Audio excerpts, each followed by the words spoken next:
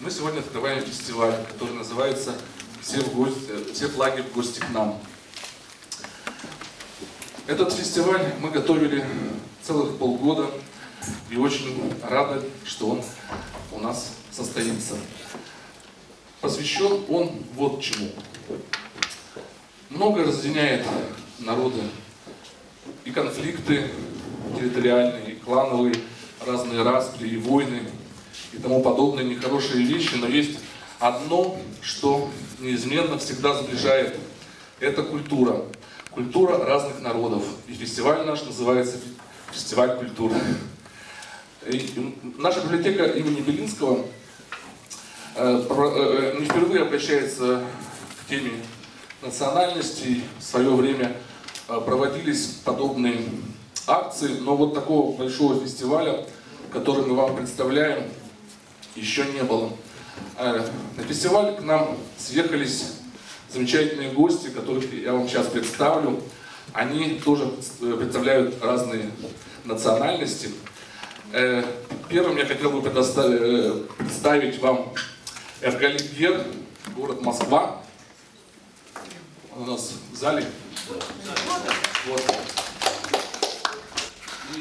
Э, я не буду ему слово предоставить, потому что сегодня в 6 часов состоится большая расширенная творческая встреча с ним, где можно будет задать все интересующие вас вопросы.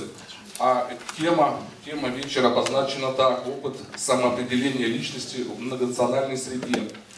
Э, следующий гость Герман Садулаев, э, писатель из Санкт-Петербурга, э, который вот буквально только что спустился с самолета. С ним встреча состоится на закрытии 17 мая. И еще я хотел бы вам Э, представить заочно, поскольку он сейчас в прямом эфире находится. Это Томас Чапайтис, наш гость из Вильнюса. Вот. Но он передал письмо приветственное, которое я сейчас от его имени и зачитаю. Библиотека, как представлял Хорхе Луис Борхес, это рай. Хорошая библиотека, как говорил В.Г. Белинский, величайшее сокровище. Вы все очень счастливы так как собрались в раю на земле. Передаю поздравления вашему собранию и желаю любить и жаловать ваших ангелов, библиотекарей, хранителей э, ваших сокровищ. Э, Томас Чапайтис представляет такое удивительное культурное объединение, э, как, которое называется Республика Ужубис.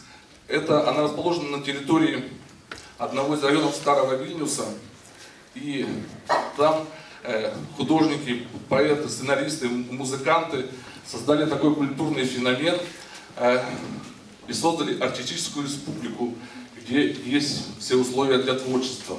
А сейчас я хочу слово передать Елене Гармс, заместителю директора библиотеки Мебелинского по информационной политике.